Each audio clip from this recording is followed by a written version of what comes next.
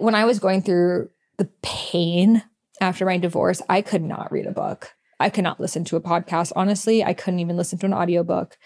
I could just listen to music because it was just, I needed to think and be with myself. And like, I just pray that this album is able to help people go through those transitions in life in the way that so much of music helped me.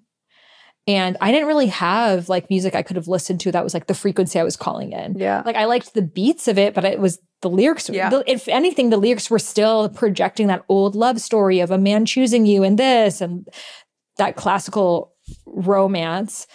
And so my prayer is that for this, it like gives you that like like that like sexy embodied frequency, but with lyrics that are just like, this love story is about you. You have everything you need. And that doesn't mean you're going to be alone forever, but it means that when you have yourself, you're way less likely to self abandon Mm. when you see someone else come. Because the reason why we end up in toxic relationships and situationships and whatever situation is because we don't want to be alone. Right. That we're like, well, this sucks, but I don't want to be alone. So I'd rather do this than be alone. Yeah. But when you can really sit with being alone, you're just like, mm, do I really want to do this dance? Is it really worth fucking up my vibe right now? Right. You know? And then you can you can choose. You can choose to have the experience, choose not to, but you're coming from it from a place of sovereignty and being embodied and being so full and rich within yourself. And I really hope that this album, whether you're married, in relationship, not in a relationship, we still need to remember that within ourselves. Sometimes in marriage, we even forget that we're a sovereign person to re- and then that's going to also make you so much more magnetic and your relationship so much more palpable too when it's not coming from this like i need you thing but it's like Yes. i am so good and i'm so rich on my own and then that just floods out in the love that i share with someone else Trust flows, surrender, let go. Trust flows, surrender, let go. Trust flows, surrender, let go. I'm the one I've been waiting for. Welcome back to the Highest Self podcast. This is probably the episode I have been the most excited ever to record because you are witnessing me in real time transitioning into the next iteration of my Dharma. I started this podcast seven years ago because I was a young spiritual girl just wanting a place to talk about the things that were on my mind and on my heart.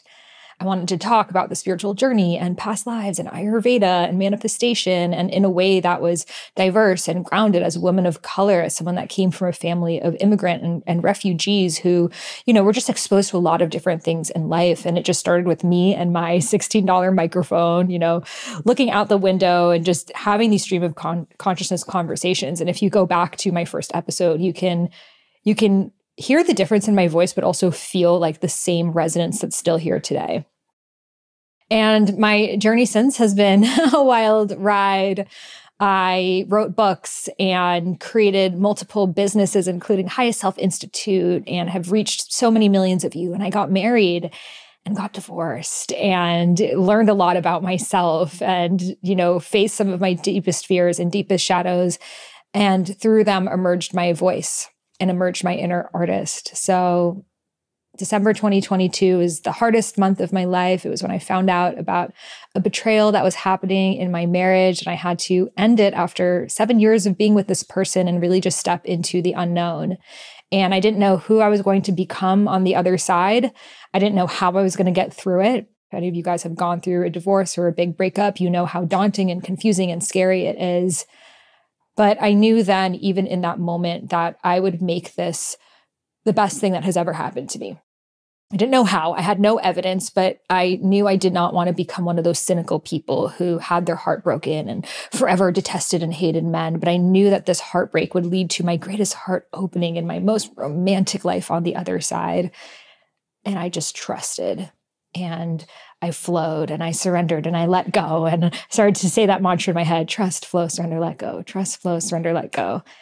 And flash forward that next summer, I started producing music you know, I've always listened to music very deeply. I've been DJing for five years and I started to just think of like drum lines and melodies and putting them together. And I didn't even know I had this gift in me, but it was really, if you've ever gone through a hard period in life, like you're broken open and you just hear things in such a deeper way. And this heartbreak made me like listen to music on such a deeper level. And I started like listening to all the layers in the music and all the ad libs and all these things. I was like, whoa, like I didn't even hear these parts of music before and now I'd really hear them. And then I started to make them and turn my poetry and my affirmations into the music. And I thought I would make like one song, and then I made another one, Divana, taking Persian and Afro uh, beats elements together, and then I made the next one, Be the Vibe, and and then flash forward uh, a few months later, I was in London, and you know all this music started coming through me, and I thought I would just like have a single for the rest of the year, but my friends were like, "You should make an album." I'm like, "I can't make an album. Like, I'm not." I'm not a singer. I'm not a rapper. Like, I can't make an album. They're like, this is good. Like this is something different. Like I've never even heard this genre of music before. It's it's like Afro beats and Middle Eastern, but like high vibe lyrics and like and I realized that my music was around things you felt good around getting stuck in your head. You know, because sometimes I would have a song stuck in my head and I'm like, why is that my affirmation? You know?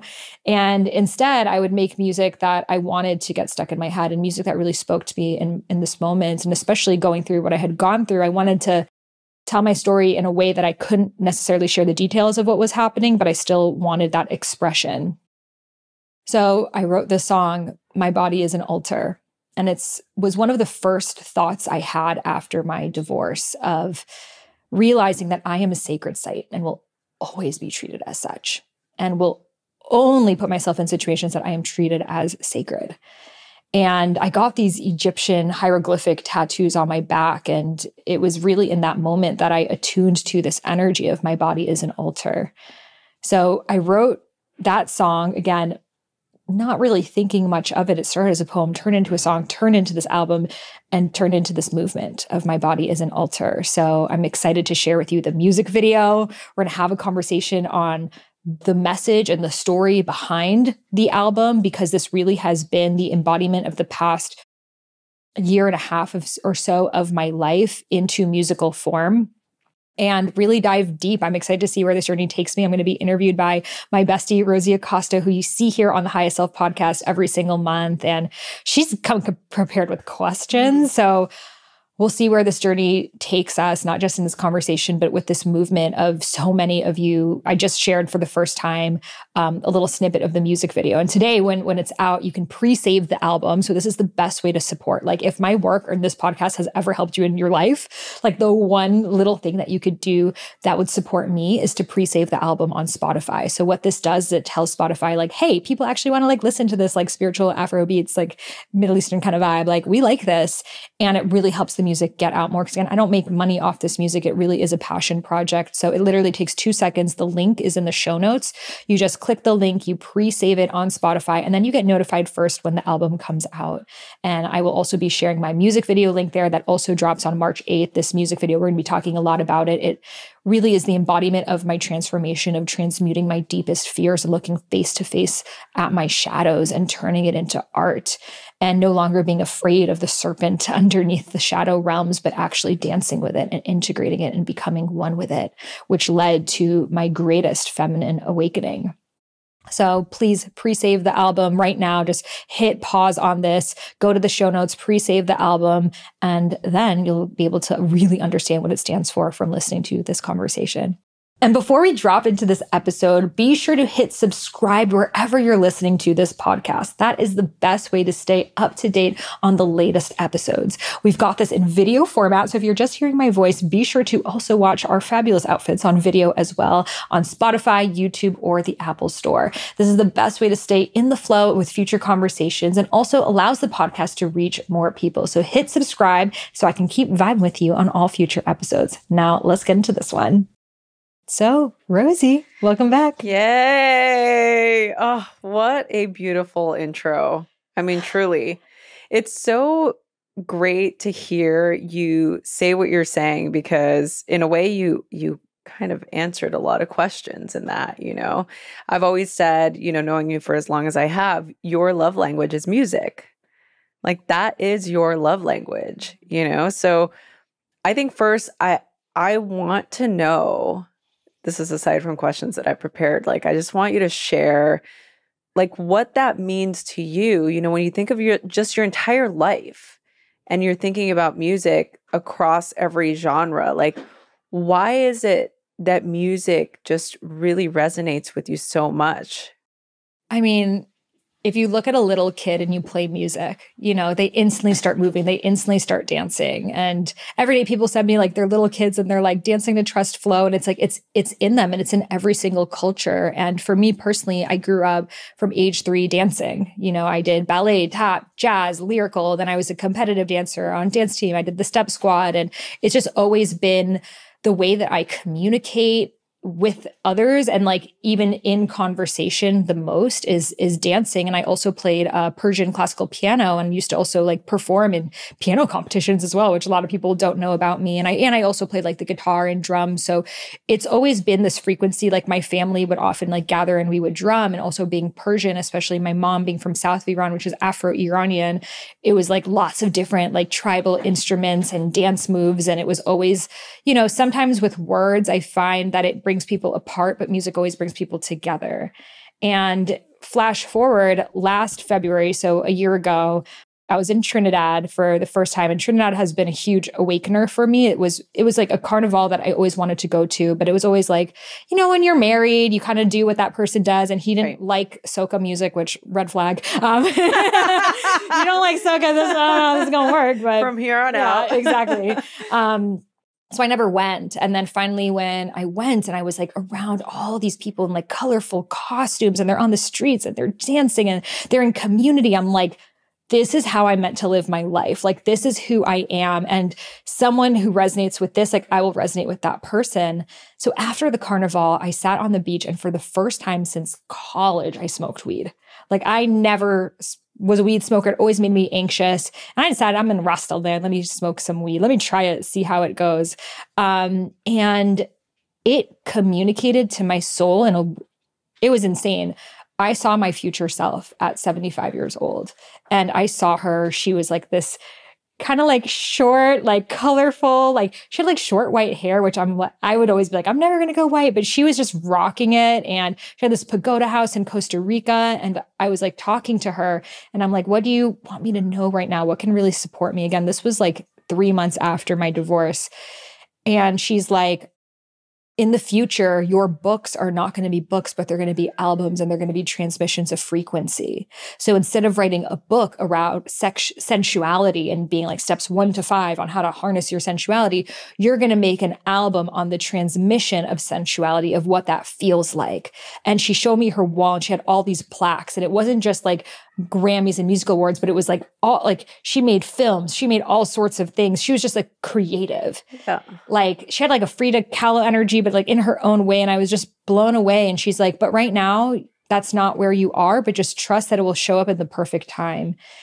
And I took that as something that might happen like 10 years from now. You know, I didn't like decide then. And nothing, I just sat upon it. That was in February. And then in June is when I started to produce music. So sometimes we have these visions for our future selves, but it, it really isn't that far into the future. And what's interestingly enough, I didn't even realize it. I was just making song after song. I wasn't thinking of an album. But this is the transmission of sensuality. And sensuality has been my greatest healer because it was my greatest pain in this. Because when you experience a betrayal, it creates a story that sex with me is not enough, that I am not enough. And it sends you through many, many spirals. So a lot of my healing was in that, that like my body deserves to be treated with patience and care. And, you know, that's how I developed the practice of like yoni mapping. I was realized how even though I could be sensual in my dancing, I was actually very disconnected from my, my like actual like yoni and my tangible sensuality and just like learning to self care and love myself through like touch. And, you know, when you're going through so much pain, it doesn't always need to be so painful to heal it. It can Mhm. be through pleasure. It can be through just like even just like touching your face and caressing your face the way that you would a lover. And especially when you're out of a long term relationship, you're so used to like having someone there to give you the tangible experience of love.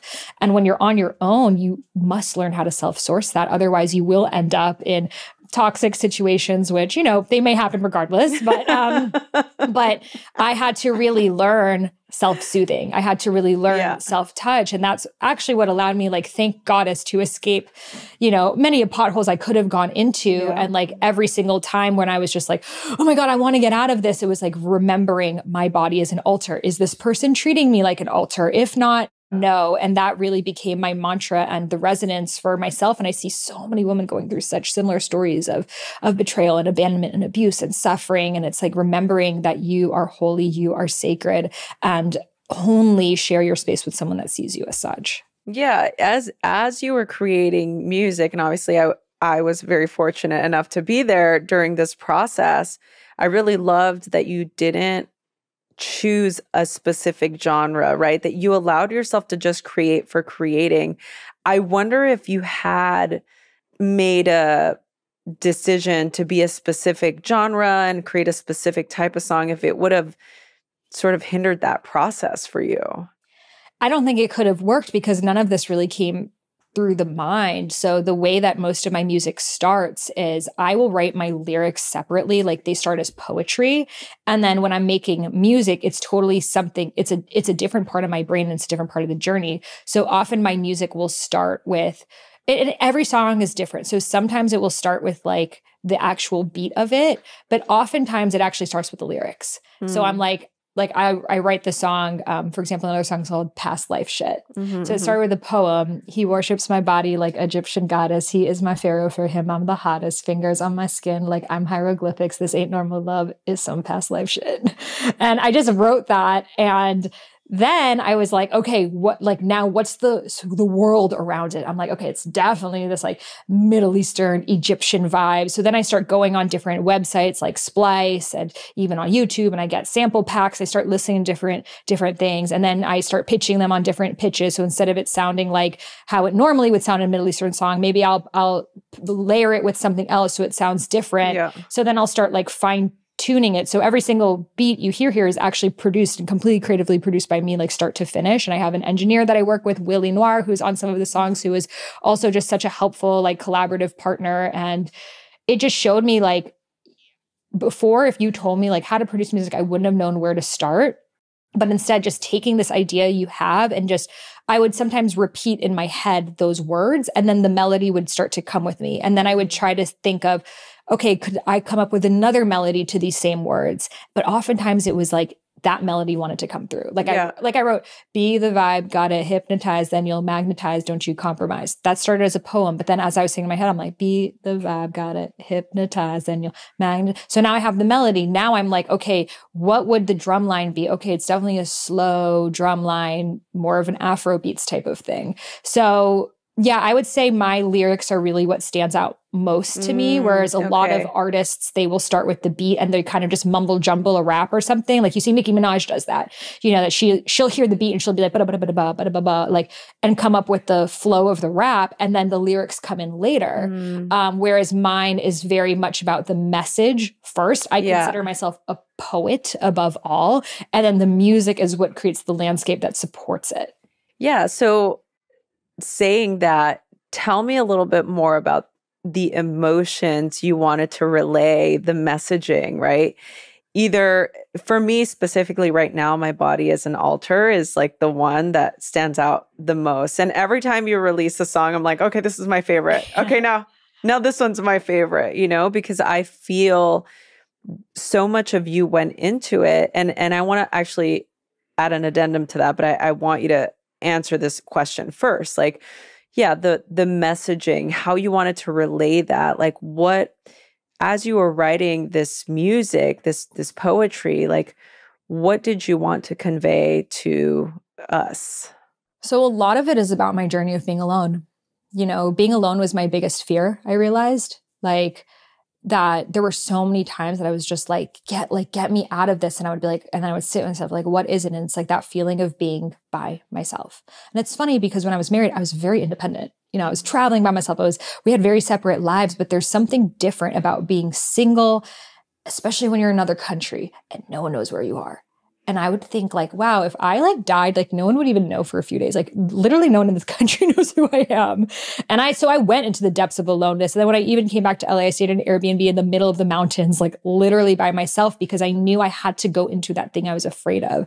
So all of the music it has that theme in it. There's this one song, I don't know if I ever played for you. It's the last song on the album called Love Story.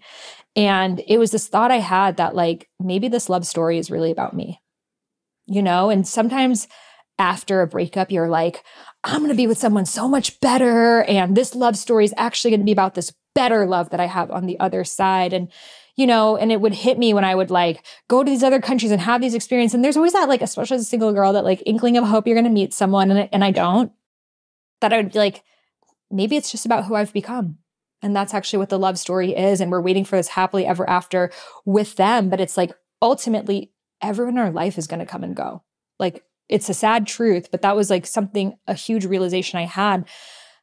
Trees die, nature shifts, everything has a life and a death cycle. And ultimately, you're just left with you. And like the first phase of really healing my, myself through this was like, go into the aloneness, go into that fear of being. And then I realized that when I would really sit with being alone, I was actually at peace you know and i was like mm. afraid of that piece. Yeah. it was almost like i was so used to who i was was entwined with someone else that when i didn't have that it's almost like i didn't even exist anymore.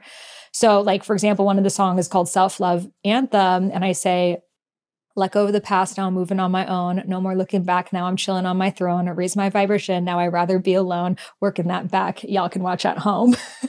And it's like and i also i like make everything a little spicy but it's like I'm I'm here on my own. And oftentimes on social media you see people and you think they have this like big like yeah. like it's like even today I like release my albums like I'm I'm alone you know? And like there's nothing wrong with that. And I think as women we're so afraid of our insignificance outside of relationships. So a lot of this album has been about you know bodies altar is about reclaiming your divinity. But then the other music is like another song glow every aura is like fluffing up my aura, my radiance on fleek, glow every aura, you know I'm doing me. And it's like starting to be like, yeah, like I'm not going to share my energy with someone who's going to bring down my vibration because as you spend time more alone, you raise your vibe, raise your vibe. It's like people have watched my transformation in real time, you know, and it's like I wouldn't have had this transformation if I smack one to another relationship right yeah. after, you know, and then you start to be like, wow, I love my aloneness. I love my solitude. I love who I've become.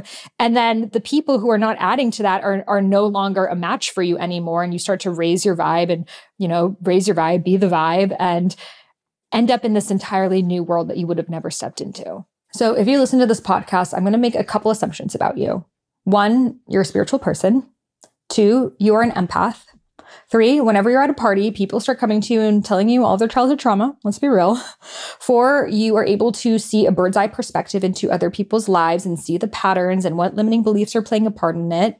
And five, you want to create a career for yourself where you are sharing your wisdom. I'm also going to guess you have an incredible story that you aren't quite sharing yet, but you have this deep dream inside of yourself. Maybe it's still a little seed that one day you're going to speak on stages and write books and have a podcast, but maybe you just don't know where to start. So, where I started and where many thought leaders today started is in coaching. By learning how to have these one on one transformations with people, you end up learning the tools, the know how, and the method that you eventually share with the world. So, about four years ago, I created my school, Dharma Coaching Institute, that has now transitioned into the Highest Self Institute. And it's the leading spiritual life coaching certification institute. So, our leading certification is our Dharma Coaching certification. The word Dharma means soul purpose. So, as a soul purpose and spiritual life coach, as this is a dual certification, you are able to guide people into understanding who they are and how they can translate that into their careers.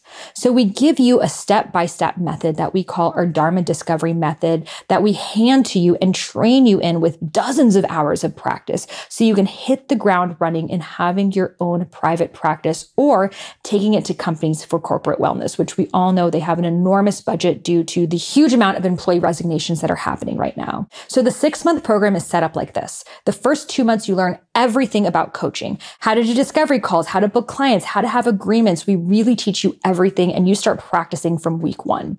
Then the next two months, you're going to dive into the Dharma discovery framework. So, how to understand someone's Dharma archetype and then put it together into their Dharma blueprint so they know exactly what to focus their energy on, whether it is a career transition or a new project. Then for the last two months, we dive into everything about the coaching business. So collectively, my three founders and I have over 30 years of coaching experience. So we teach you everything and we have experienced many, many things in coaching from how to successfully choose your niche, how to tell people what your niche is really quickly in your elevator pitch, how to charge people, how to create programs, what to do in every single session of your programs. All the things that I feel like a lot of coaching schools, which trust me, I have done many of them, are unclear about. We really take the hood off of the tip of the car and make it really easy for you because we want you to succeed. We have hundreds of success stories right now, which we want you to be a part of. People who instantly made $30,000 raises at their jobs from becoming their internal purpose coach. People who have gone on to write books, many of whom you've heard here on this podcast. People who have created full-time careers for themselves, transitioning from social working into becoming spiritual life coaches and making 10x what they used to. And we want you to one day be here with me on this podcast telling your success story. So if you're interested, you're curious, you just just want to learn more, we have lots of free workshops and resources available for you. We also have free discovery calls with our team members, so you can ask any questions that you have. So head over to highestselfinstitute.com. That's highestselfinstitute.com. You can find that link in the show notes. You can book a call to learn more about the Dharma coaching program. And we are so excited to invite you inside. Instead of being the black sheep of the family, we consider ourselves the rainbow sheep, and we can't wait to have you. So, if you're anything like me, you're a super busy person, but you love eating well. So, this is why I'm obsessed with food delivery services. But the thing is, a lot of them are like frozen foods or things that you have to like cook yourself. And that's why I love Factor. So, they're fresh, never frozen meals that are chef created, dietitian approved, and ready to go in just two minutes. You have over 35 different options to choose from every week, including protein plus, keto, calorie smart, vegan, and vegetarian. They also have really fun breakfasts like pancakes and smoothies, midday bites. And they're flexible to your schedule so you can get as much or as little as you need. You can also pause and reschedule deliveries at any time. So you can actually get 50% off your Factor meals by heading over to factormeals.com slash Sahara50 and using coupon code Sahara50 for 50% off.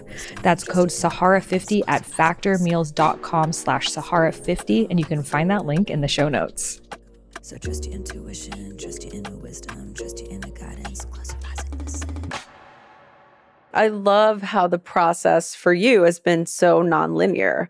And I think that part of what the album is going to provide is is that insight. You know, it's you can be in this this place of self-worship, you know, your my body is the altar, you know, and and you also can be glowing every aura, you know, it's like you can go through all of these phases in life and still feel empowered and connected. I'm I'm curious though, you know, thinking about this last year and what this journey has been like for you.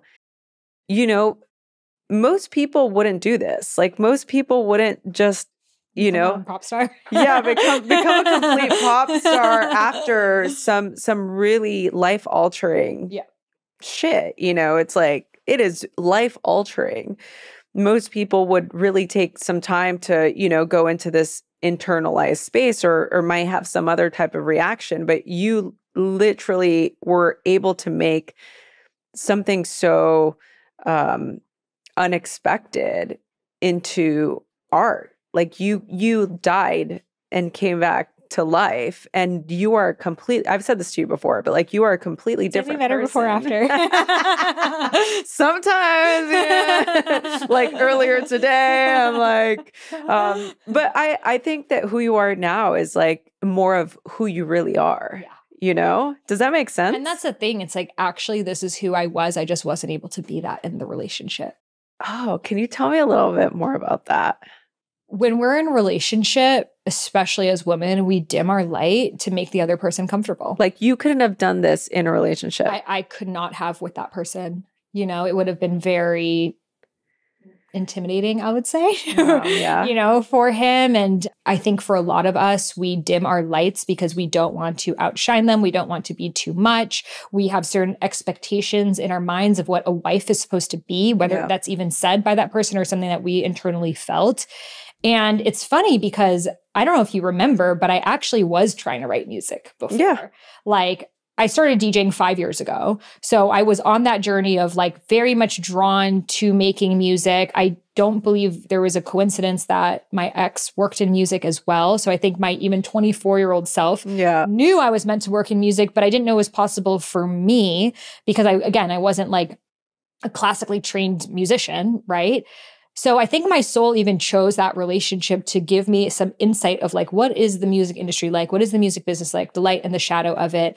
And then inside myself, I remember there was a time period I was like trying to write music, but it like, it just wasn't hitting. You know, it Mm. was very like, you are allowed to be multidimensional. Like, you know, it was like, I was like coaching music, you know?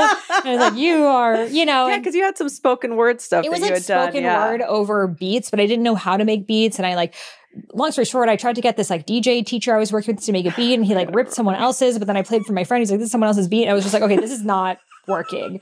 And I was like, "Well, I don't know," because I was around music producers all the time, but I saw how hard they worked. Yeah. They were in EDM, and I was like, I could never do that. I'm for sure not a music producer. So it was just like I was at a standstill. Yeah. And to be honest, it wasn't the time. I needed to go through that heartbreak to become this version. I needed to kill the good girl mentality in me. I needed Mm. to kill the trophy wife, the perfectionist, the people pleaser. There were a lot of layers to me that had to die for me to step into this whatever you want to call it awakened energy i don't even fucking know that i'm in now and that's now i can understand that's where most art comes from you know it's like my number one most played song throughout middle school and high school was unbreak my heart Say you love me again. undo this hurt you caused when you walked out the door and walked out of my life uncry Okay. I cried so many nights. But like, what a song. I mean, I'll never, I'll never get sick of that song because it's so much emotion. yeah. You know, it's like, I didn't have It's a deep. breakup when I was 11 years old, but I but you felt that. I shit. felt that. I remember my brother was like, Are you okay? Like, we had like iTunes or something for the You're first week 11? of our lives. Yeah, I was in middle school, 11, 12, and we just got it. And he was like, Oh my God, how many times did you play a song? I played like Eminem 12 times. Unbreak My Heart was already at like 73. he was just like, Are you like, it was like something in my soul, like new, like heartbreak. Like, what a potent medicine. Like, we all like to sometimes listen to some sad Oh, yeah. just Oh, takes- yeah. even if you're not sad, it just takes Yeah. you back, you know? So I like was living this life that things were like good. Like I wouldn't say it was like the best life on planet Earth, but it was like things were good. So it was like my music was like have multiple revenue streams. like, what are you you can be a spiritual life coach. You can be a soul purpose coach. You can be any kind of coach you want to be. Just believe in yourself. Live your dharma. Actually, I wrote this song and it was like, I was like, what's your dharma? No, what's your dosha? What's your dosha, baby? Ooh, what's your dosha? Imagine I had an Oh. album release party for What's Your Dosha? I'm glad You you. vata, vata, vata. So it was just, it, it wouldn't have hit the same, you know? So I needed to get my heart, oh, uh, uh, uh. Yeah. But they say that heartbreak and tragedy I sometimes mean, makes the best I art. mean, and none of my songs are actually heartbreak songs, funnily enough. no, but it was who it made me that it it made me realize that I wasn't at my full range of feeling before. It was like I had I was like, and I give this analogy on the podcast. It was like I was operating on like radio stations like 800 to like 112 or whatever, uh, 1,000, 1,200, 1,200. So I'm like in the median range. It's like I could feel sadness, like I could like empathize with the movie, but I wasn't like, Ugh. but I also wasn't on the highest levels of like joy and love Yeah. either. I was just how most people are, you know, I would say a wider range than that. But there's this moment, and you see it in the music video of My Body is an Altar, and it's what it starts with. And it's like me looking into that mirror. And that was actually based on an actual moment that happened, which was the day after I, I found out about the betrayal. And I was so fucking devastated. Like it was beyond computing. And I just looked at myself in the mirror and I was like literally having those like on your knees crying moments that like you hear about. But when you're like crying so hard that you physically can't stand anymore, like your body can't even hold itself together, you're fucking crumbled. And like it's beyond devastation. The world has gone black. And I just was on. And I looked at myself in the mirror. It was like my face was like almost like unrecognizable when you just like cry so much. It's like I saw myself as like a child, you know, like so it's like how a baby cries and it's like and no one's coming to get you. And then like I just cried and I looked myself in the mirror and I was just like, I will never be in this situation again. And it was like that feeling of just like, you know what? I don't know how, but I'm going to make this the best thing that's ever happened to me. I'm going to make this have the greatest love on the other side. And I got me no matter what. So, Spirit, lead me. And that moment of really seeing my reflection and witnessing myself like that in that state is like my highest self came through and was just like, I got you. And and there are so many moments like often when I'm meditating that I'll go back to myself in that moment and talk to her and tell her like, look at what you've created. Like, I had no idea I would make an album. Like, you know, I was so far from that. Like, I had no idea I would put my things in storage and never see them again. I don't have anything from that life. I never know, never knew that I would end up in Egypt and then in Bali and then in Trinidad and then here and doing some of the deepest shadow work of my life, not speaking to most of my family members for long periods of time because a lot of conflict of their Mhm. projections came up. Going through the pits of fucking hell and then coming back shinier, sparkler, sparklier, more beautiful on the other side. Like I had no idea any of this. And so I'd like tell her, and I'm like, what could I have said in that moment that would have helped her? And it's like almost nothing could have, like, I could have Mhm. said, things are going to be better than you could have ever imagined on the other side. I wouldn't have believed it. Mm. Like I ha- I had to go through that. I Yeah. had to go through the not knowing. And I say this because if someone's like in that not knowing right now, and you might see me and be like, Sahara has it easier. Guys, my divorce was not, it was like, it was it was a stage 10 uh, trauma one because it was very, very multi-layered. And one day I'll be able to fully share the story, and I can't right now. And I share this because that was not that long ago. And I can actually boldly say that knowing what I know now, I would go through it 10,000 more times to become who I've become today. Like I would go through all of that again if I knew what was on the other side. All of it the pain, the, in, the uncertainty, the fear, the feeling unsupported, all of it, because I love myself so much right now. And I never really understood what self love was until this. Like, I would definitely say I loved myself, but like to hold yourself through your darkest fucking moments.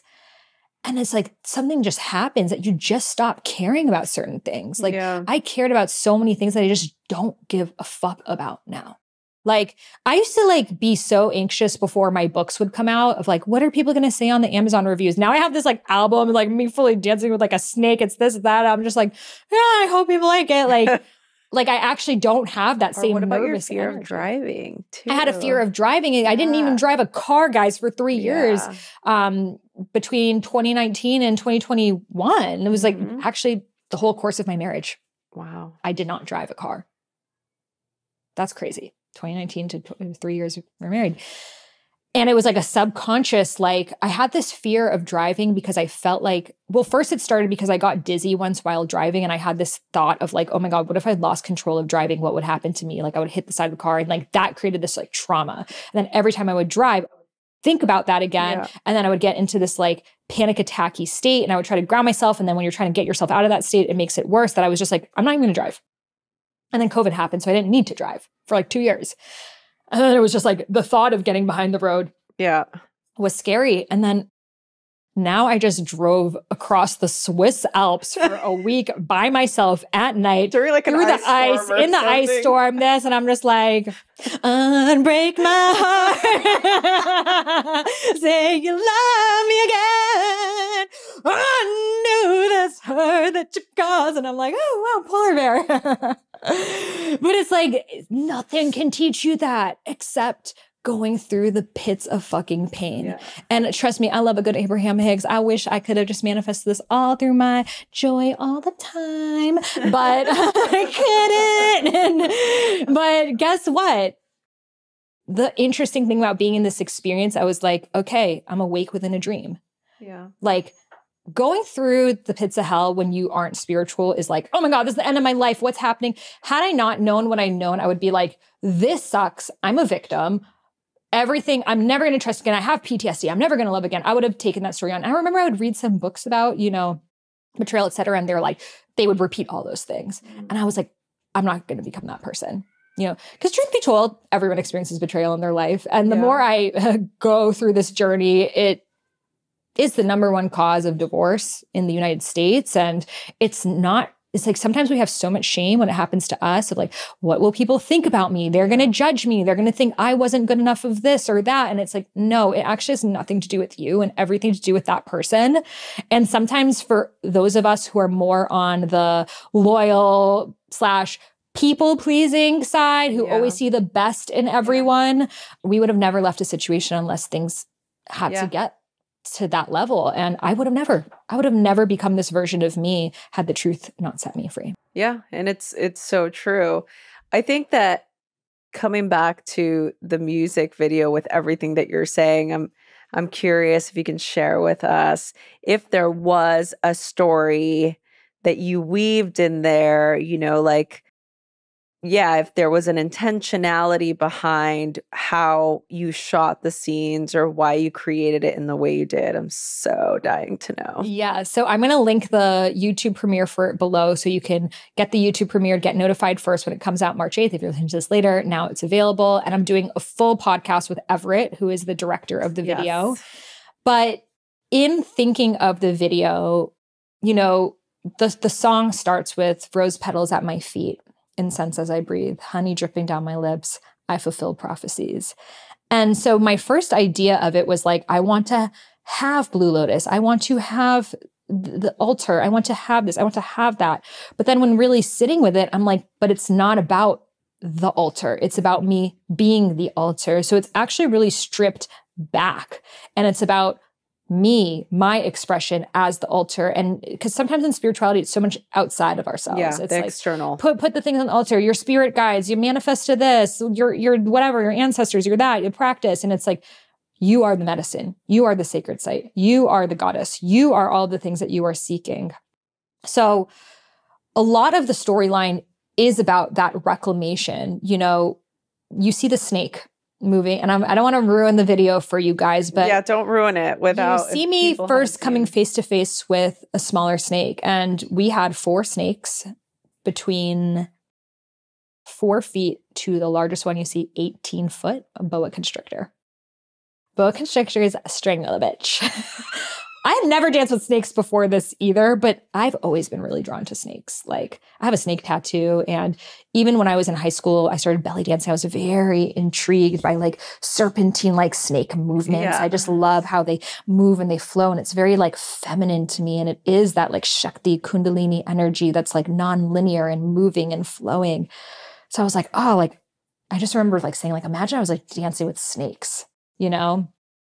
And I I thought like maybe in one shot they would like put a snake on me, but like no, the snake and I, we were like in, In a it, portal yeah, together. yeah. And the snake, you know, after my divorce, I ended up in Egypt. I was supposed to go there with him. I decided to go myself. And I kept seeing the snakes and the hieroglyphics. And when you're in such an open state like that after something really traumatic happens, it's like everything is communicating to you and everything's a sign. So I would be in tombs surrounded by hieroglyphics. I would like pay the people money so I could just be in there by myself bawling. And then this hieroglyphics would literally, it was like a psychedelic experience. They would speak to me and they would tell me stories and they would show me what happened. And they showed me the snake and I could see the snake like was passed down. And it was like the snake was the trauma, the trauma that happens in families.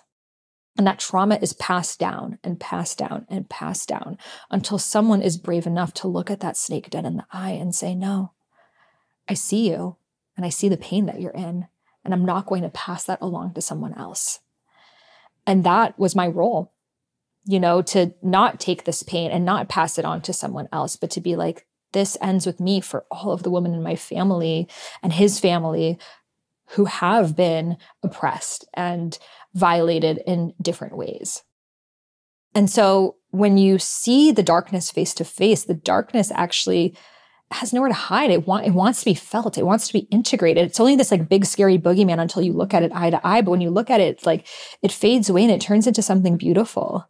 So you see in the music video that snake, it's like we first make contact and then it's like we start dancing together and we become one. And then it's like, I am the snake.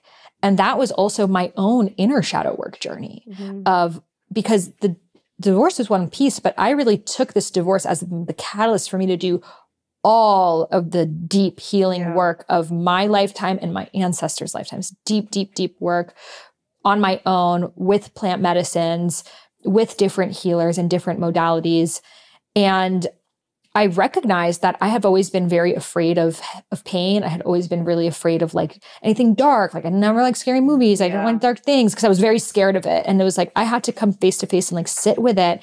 And that's actually why I show up with this like way more like fierce, bold, and sexy and playful and loving energy that I have now because there's no longer anything in my consciousness that I'm afraid of you know? And like you know how sometimes you have like that little lingering thought in the back of your mind but you won't really let yourself think it Yeah. you know? And you're just like no. It's like you know that's the real reason why you're doing what you're doing but you don't even want to admit it to yourself. Like Mhm. and then we push it away push it away. And now it's like now i just know it and i know oh it's just my shadow part you know? And it's just the part of me that wants to experience life. And i think i was very much again i started practicing yoga when i was 12 years old and i was very like on the path of like do what's right do what's good and it was almost like i always was the good girl and like look at what happened and it's like okay so what if mm-hmm. i like go into the shadows what if i go into the pain and that doesn't mean doing bad per se but it means like no longer being afraid of that Yeah. so you integrating. integrating it and seeing that everything in life is duality. I wouldn't have this album without duality. We wouldn't be alive without duality. So a lot of the elements that you see in there is like, you know, when I sat with Mother Ayahuasca, the way that she portrayed herself to me was this like Thai goddess with these like long gold fingernails and she was dancing like this. So I wanted to like give an ode to that. And it's like, you know, long nails like that for a lot of men, it's scary, it's intimidating, but it's also like so fierce and beautiful. And we were talking about like, what is a person's relationship with the snake? yeah. You know, and if someone's like, oh my God, I hate snakes, I'm super scared of snakes, they're demonic, they're this, it's like Yeah. they have not integrated the darkness within themselves. Right.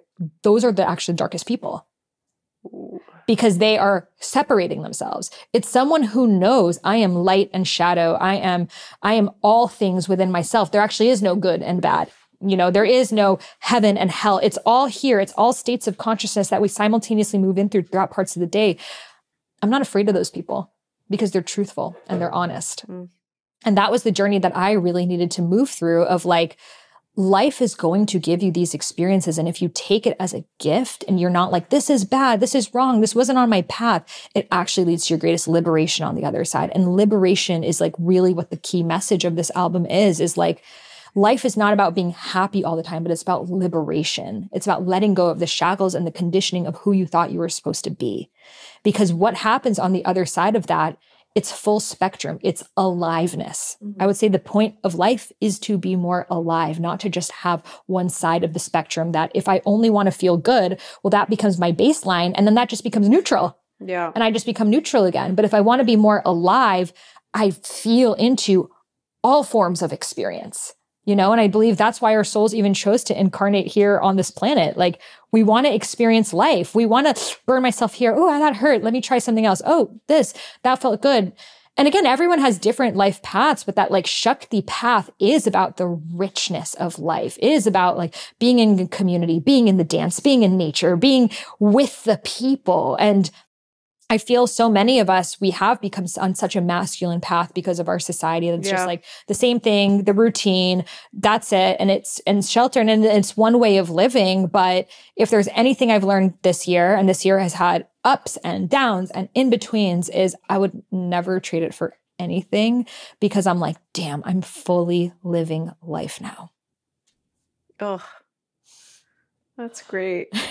You're like, pray for me who has to hear the stories, you know? No, no, it's just no, I think it's great. I think the way that you approach and you have approached your process has been fully oh, my prayer for you has only been to be awake. It's like just Yeah. be aware. Yep.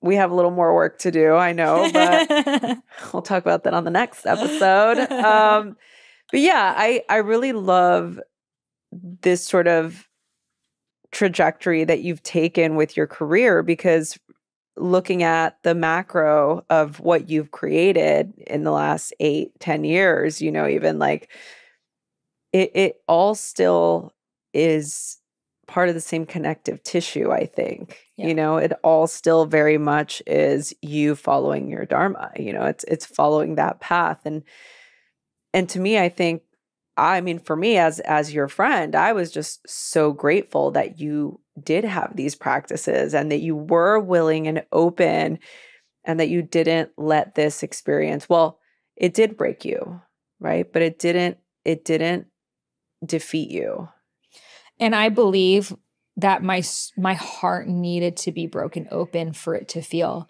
And I believe I I personally on my path, I believe I manifested that situation and that was the level of broken I needed to become this level of alive. And now that I know that, now I can feel into my heart and its subtleties so much more. Mhm. Whereas before, truth be told, I could have been living completely different lives from him and I would have stayed married because that's what people do. I was just being a Persian person is like, you're married, that's your husband forever, you don't question it. Thought of divorce, ne- it was like a curse word in my family. Mm. Could have never, you know, unless I'm disrespected, you know, and that needed to happen for me to be like, oh shit, I can't continue in this container anymore. And like, I never had a roadmap for this. I had never seen it. Like right. my, I was always told like, oh, divorced people gave up, they're quitters. It, it was like in statistics, divorce rates are going up. It's like a bad thing. And now I have so much respect for people who have divorced from toxic situations, from being betrayed, from being abused, Yeah. from not being met. I have so much respect for the amount of courage that that takes. Like, in no way is that like quitting and giving up. Like, of course, if you're just like, I don't know, I just don't feel like it, then you know, maybe there's more work to do there, but I would say most divorces are not that. Like they're last straw and they're extremely painful.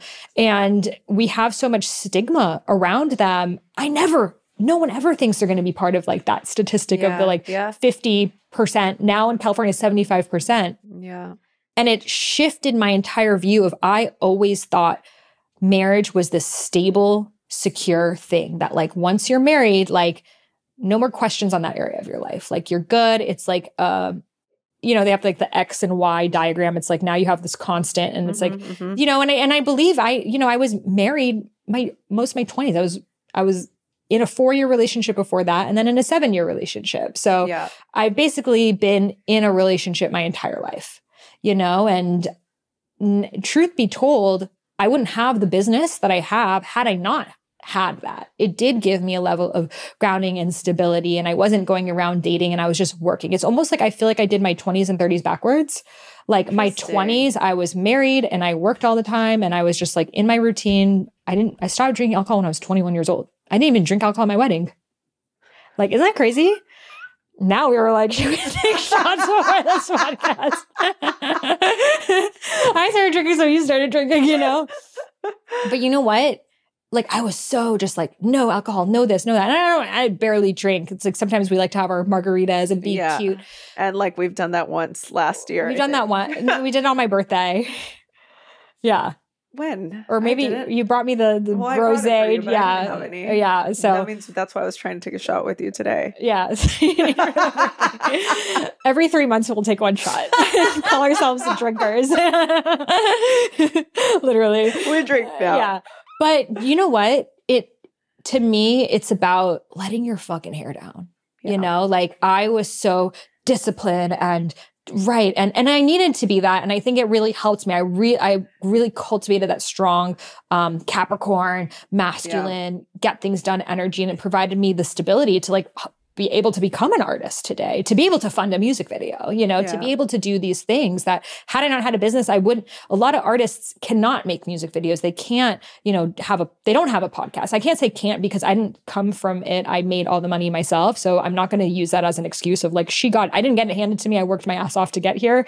And Let's be clear. Let's be clear on that. Um, and I put in the dues so I could now, it's like I could still choose to be like, well, it doesn't really make sense with my business. I just need to keep focusing on my business. I see a lot of people who become entrepreneurs get stuck now in the hamster wheel of entrepreneurship, of coaching. Still like- that same, almost that same construct. They as the recreate it. They yeah. recreate the jail. Yeah, exactly. And I'm like, what is the purpose of money? For me, it's about freedom. It's about expression. It's about the ability to be able to like take a risk on something that I just love, you know? And I don't care if I ever never make money from music. It doesn't matter to me. It's like, I just love doing it and it makes me come alive.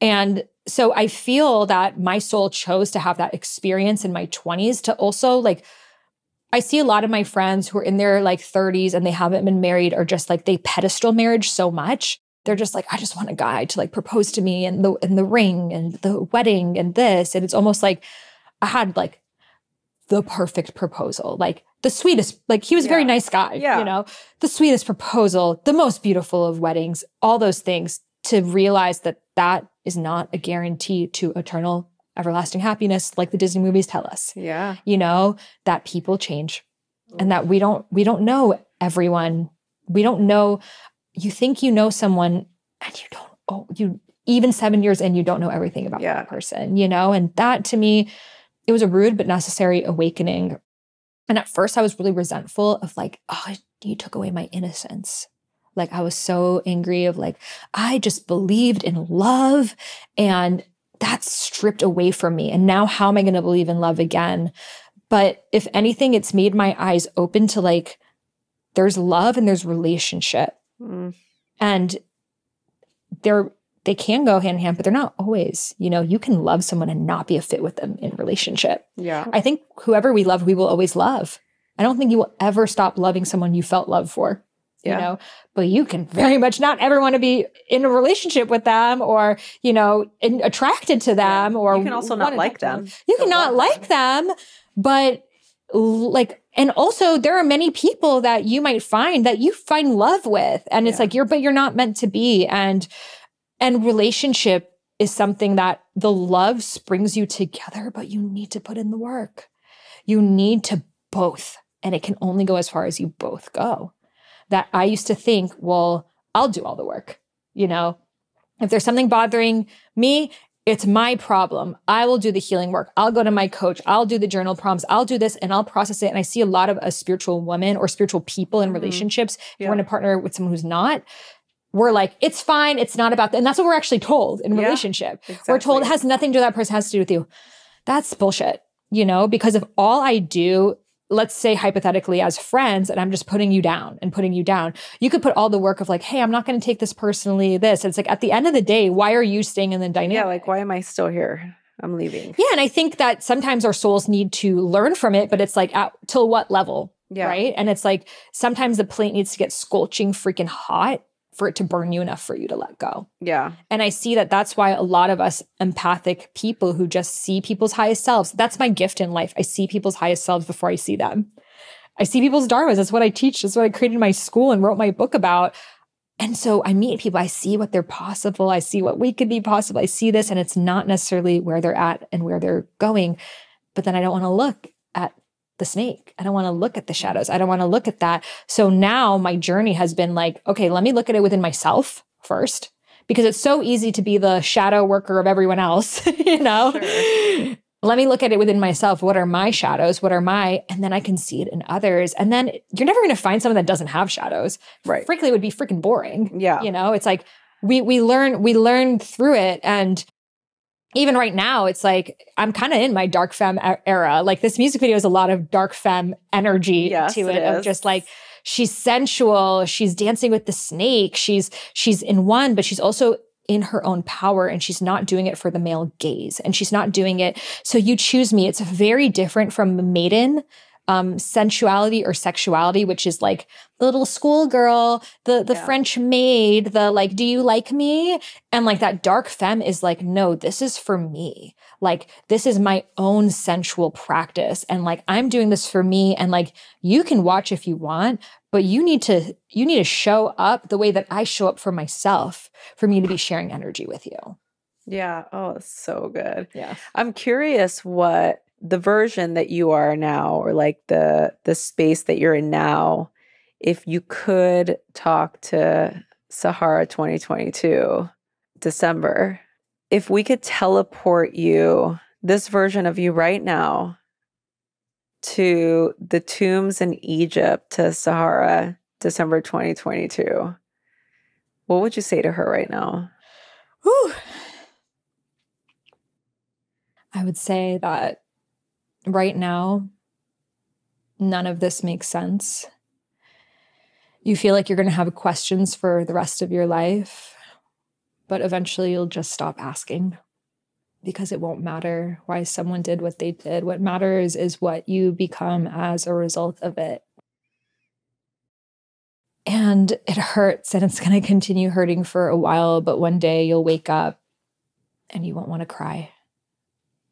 And you're going to find yourself on the adventure of your life that's going to take you places that you could have never imagined. And everywhere you go, you're going to meet a new version of yourself that you would have never met without this happening. And you're going to dance in a way that you've never danced before. And you're going to sing in a way you've never sung before. And you're going to feel in a way you've never felt before. You're going to connect in a way you've never felt before. And you're going to cry in a way you've never felt before either. And you're going to start listening.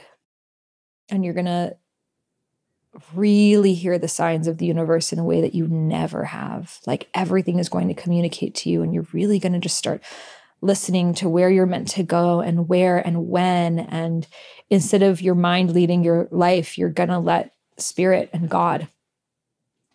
And it's going to take you exactly where you need to go to have the realization that you need to have to meet the people that you want to have. And you'll just continue to be guided, and everything is happening in divine time. Like when you look back, you will see just how everything needed to happen exactly how it did for it to lead to this version of you now and know that you're always supported. Like you always have the next breadcrumb for what is to come next, and it's never going to come too soon. And the times that you feel like, I just want to get out of this and you start escaping, like those are the moments for you to really dive deeper because when you sit with yourself in those moments, that's when you have that realization and that aha nugget moment that opens up your mind to an entirely new trajectory of being. And you will start to to glow more than you ever have. You will start to just be so full of life right now you feel like you're never going to wear bright colors again but you're actually going to become way brighter on the other side. And soon people will start to feel the shift of the energy in you and you're going to start to notice it too. And then you're going to look back at pictures of yourself from months ago and, and not even recognize yourself and that will keep happening and keep happening and you're actually going to start reverse aging. You're actually going to start looking way better than you ever did in your in your 20s because you've let go of all of the shackles of conditioning that you're holding on to and the things that you look up to in other people and crushes are within you. That muse is you right now personified another person, and it's who you know you're meant to become. So lean into that and just really start listening and really just like sit with yourself and let yourself think, let your mind wander because you're going to start to notice a lot of patterns and synchronicities and get nuggets of ideas. And it's going to take you on this journey, which leads to you producing music and writing and eventually writing an album.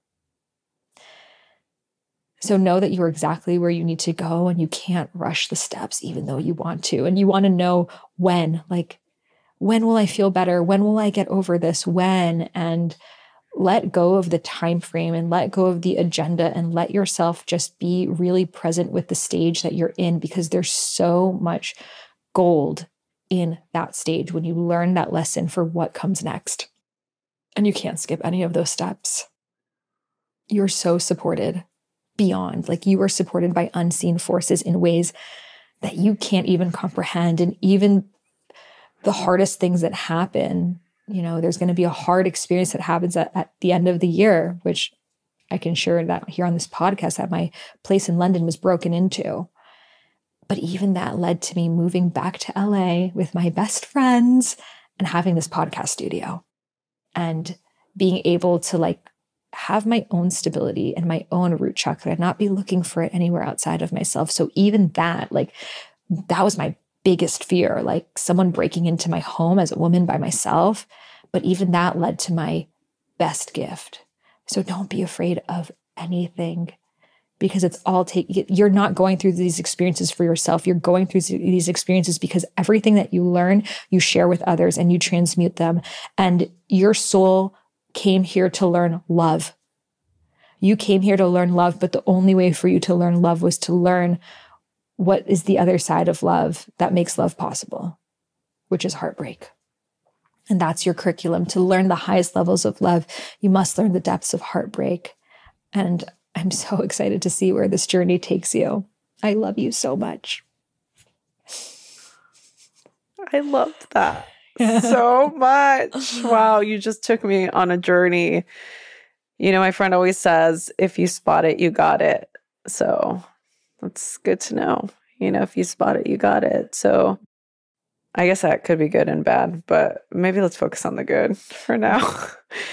it's Yeah. true. It's true. I Uh, mean, and also, and you saw me, it was like anyone that I had a crush on this year were always people making music yeah. because I knew, but uh, earlier, you kept seeing the things that you were had within yourself. I was like, wow, the way that they make ad libs and arrange their music is so amazing. I must have a crush on them. It's like, no, I just liked no, their music. just- yeah. but as women, like we do that doing. because Yeah, we it's true. think like someone else must have this thing. And it's Right. like, be it. And then there's that fear of like, well, what if I become too big and no man will ever hold me? And it's like, so what? You're going to limit your expression because that's that's not what love is. Yeah.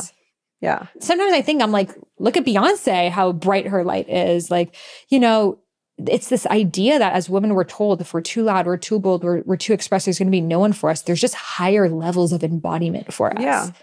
And I don't want to be with a man who's you. like, yeah, you're Yeah. you're too shiny for me. It's like, get some fucking glasses, bro. Yeah, right? Yeah. Put your sunglasses on and have a seat. Fluffing up my aura, my radiance on fleek, and glow every hora. You know I'm doing me. I mean, she said what she said. Ch, ch. Sparkly. All the boys want it, but they can't get me. Dicen que soy la mejor. I said I would agree. They blasting up my phone, but I'm focused on me. Gee, my looks inspire me. The way I manifest it and do it aesthetically. Mm, gee, hand me a chai tea. I kill him with the vibe, dancing like Shakti. We have to put the music over this. Yes. This is just I I mean you've answered all of my questions. I I feel like I can sit here for hours and just talk about this, but I feel like the album really speaks for itself. Is there anything else that you want to share with your audience? what else is there to share? You know my whole life story now. You know what? When I was going through the pain after my divorce, I could not read a book. I could not listen to a podcast. Honestly, I couldn't even listen to an audiobook. I could just listen to music because it was just, I needed to think and be with myself. And like, I just pray that this album is able to help people go through those transitions in life in the way that so much of music helped me. And I didn't really have like music I could have listened to that was like the frequency I was calling in. yeah. Like I liked the beats of it, but it was the lyrics. Yeah. the- if anything, the lyrics were still projecting that old love story of a man choosing you and this and that classical romance. And so my prayer is that for this, it like gives you that like like that like sexy embodied frequency, but with lyrics that are just like, this love story is about you. You have everything you need. And that doesn't mean you're going to be alone forever, but it means that when you have yourself, you're way less likely to self abandon Mm. when you see someone else come. Because the reason why we end up in toxic relationships and situationships and whatever situation is because we don't want to be alone. Right. That we're like, well, this sucks, but I don't want to be alone. So I'd rather do this than be alone. Yeah.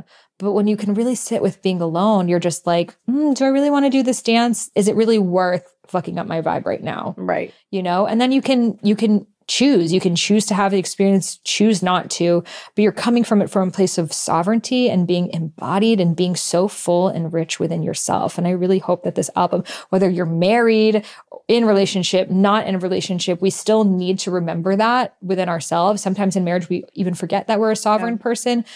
To re- and then that's going to also make you so much more magnetic and your relationship so much more palpable too. When it's not coming from this like I need you thing, but it's like Yes. I am so good and I'm so rich on my own, and then that just floods out in the love that I share with someone else. Yeah. Well said.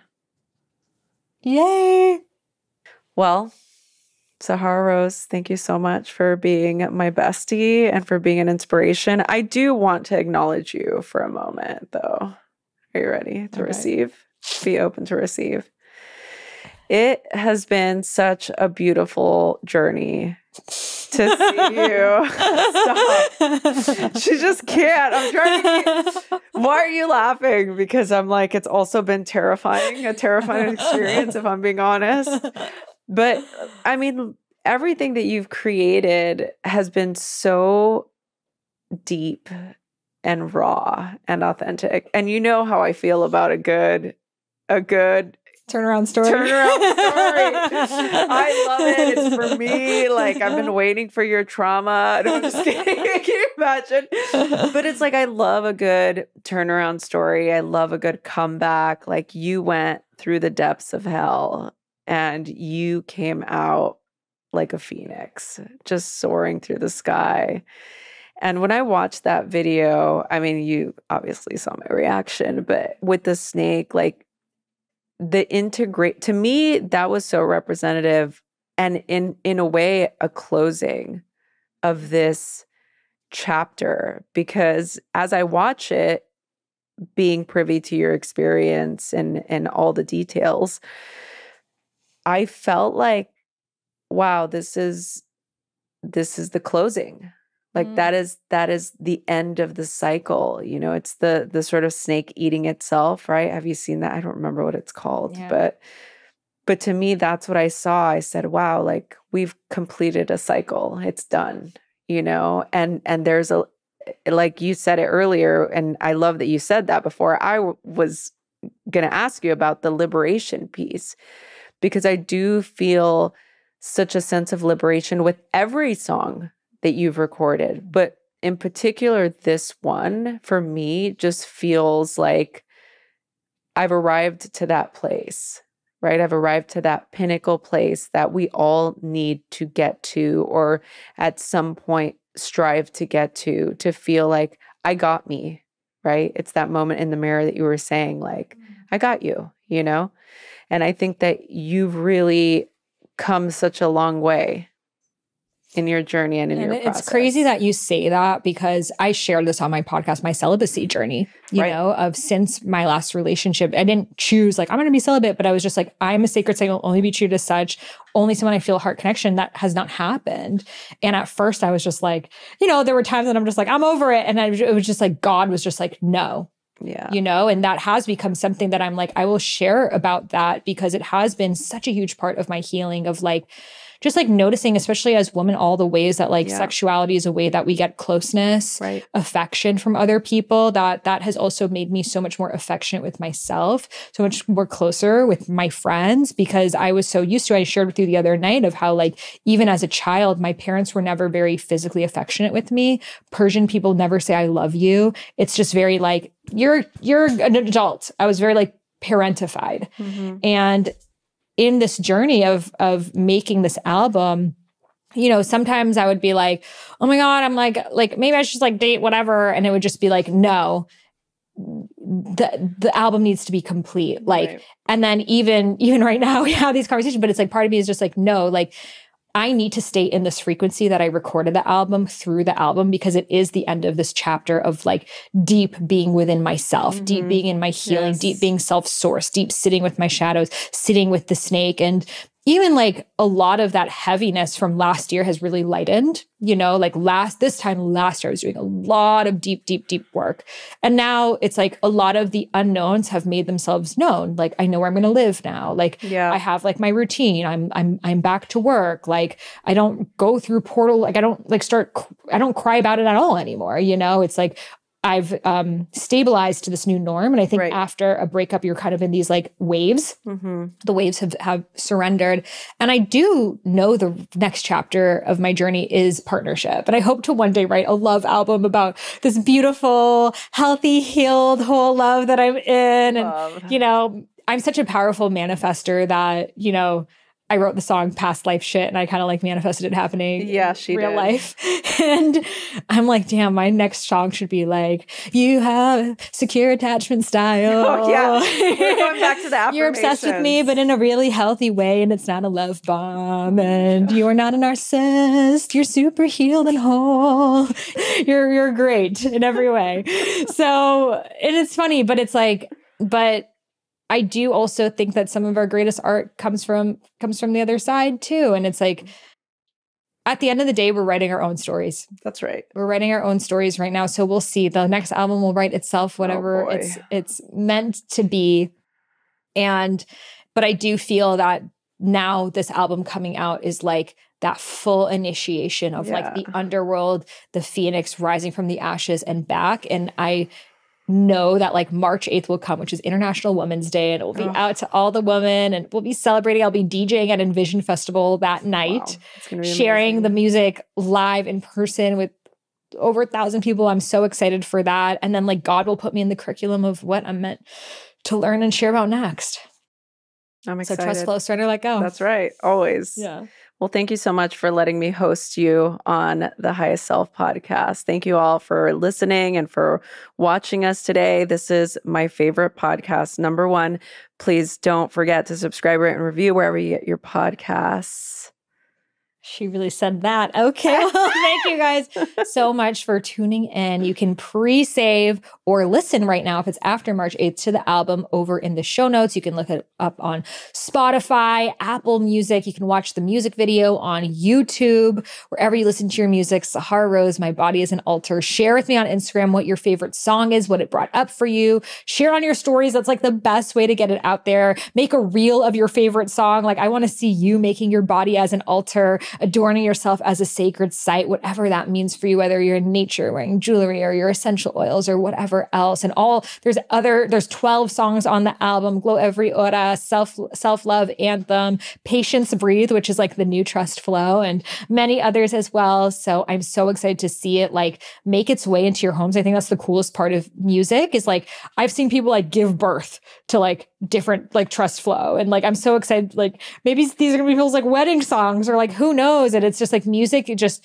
we have such of our own experience with it. Whereas like a book is like you're kind of like sitting and reading that person's voice. Whereas music, it's like your inner voice. So I'm so excited to see how the songs become part of your life and and just to witness your own process. It's like this music is channeled through me, but it's for us. Like it, it- it's it's for it's for the girlies, it's for the collective, it's for the goddesses. So thank you. Like it brings me more satisfaction, joy in anything in my life than seeing you guys listen. So share it with me. And I'm so grateful to have you here on this podcast. I'm also going to be bringing on Everett, who is the director of the music video. So be sure to subscribe so you can watch that. And we're going to go really deep into the music video and the messaging and the story about that as well. So thank you guys so much for tuning in. I'll see you in the next one.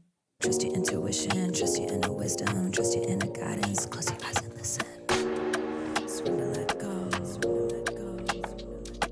So trust your intuition, trust your inner wisdom, trust your